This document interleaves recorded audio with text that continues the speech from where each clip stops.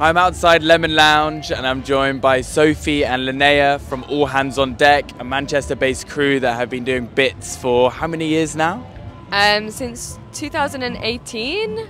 So I, how many years is that? Six. Fifth birthday. Yeah, fifth had our birthday fifth just birthday happened. Yeah, yeah, yeah. Oh, wow, because I remember your nights from when I lived in Manchester around that time, and you started off in Partisan Collective, and you've always kind of been grassroots, always been about the community. Can you tell us a little bit about the mission of what All Hands on Deck is? Uh, sure.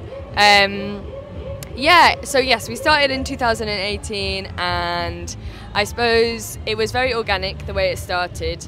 It was really just born out of a few people like starting to get interested in DJing, not just like at home, and we were all women and non-binary people, and we were also involved in Partisan Collective, which was doing a lot of grassroots stuff at the time and had space for us to kind of put on our own night. Um, so the first one was just, yeah, very experimental. We we realised that we wanted a space that was just for women and non-binary and trans people to DJ and in like a low pressure environment. So not being like super skilled, but learning on the go kind of thing, which was very much the ethos of like the venue that was hosting us.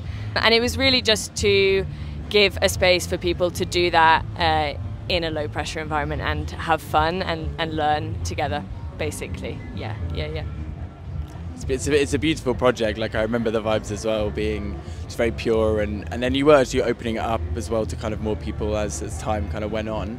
Um, you've been involved since the beginning, and you're kind of more recently been involved. Is that right? Yeah, no, yeah, very much more recently involved, but um, I'd seen kind of what All Hands on Deck were doing for a while in Manchester, and actually it was at We Out Here um, a few years ago. I think it was just after COVID that I saw that they were doing um, an open deck, and I was like, oh yes, finally, I can go, go to one of them. I mean, shame it's not in Manchester. And then yeah, since then, kind of going back to back to Manchester, doing a few more bits of Partisan, um, just got more involved because obviously, yeah, everything that they stand for, the ethos, the way that they go about things, obviously like themselves, like the three of them, absolute powerhouse. And yeah, just seeing what they've done in Manchester and actually like the amount of people that have come through some of the like open decks things or even like through the mix series and stuff they've gone on to do like amazing amazing things. And it's like it's just really beautiful to see this community of people being spawned from all the work that's been put in over the years. Because that space was clearly like needed and stuff. So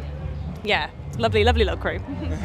and uh, we out here, you've been here for quite a few years, and you have the open decks format, and that's so, so beautiful because you're allowing people to play at a festival, play to an audience on a great sound system, and that's happening right now.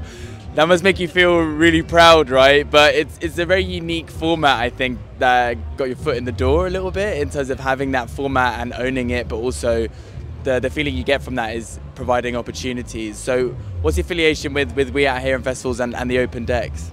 Um, yes, so I think the first time we did anything at We Out Here Festival was, like Linnea said, maybe that second year after COVID actually.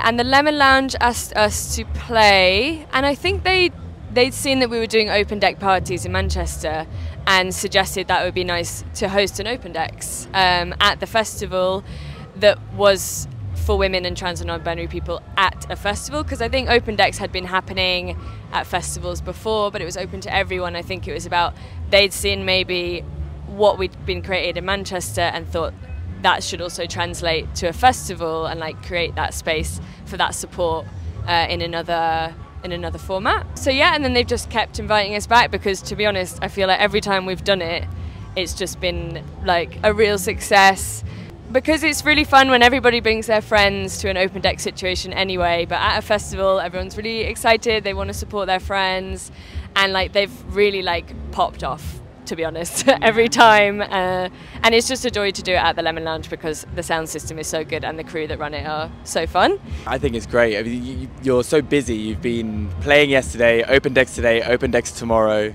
and you're full. Everyone's secured their spots, so no one else can DJ to this festival. But for next year, if anyone wants to come, that they can.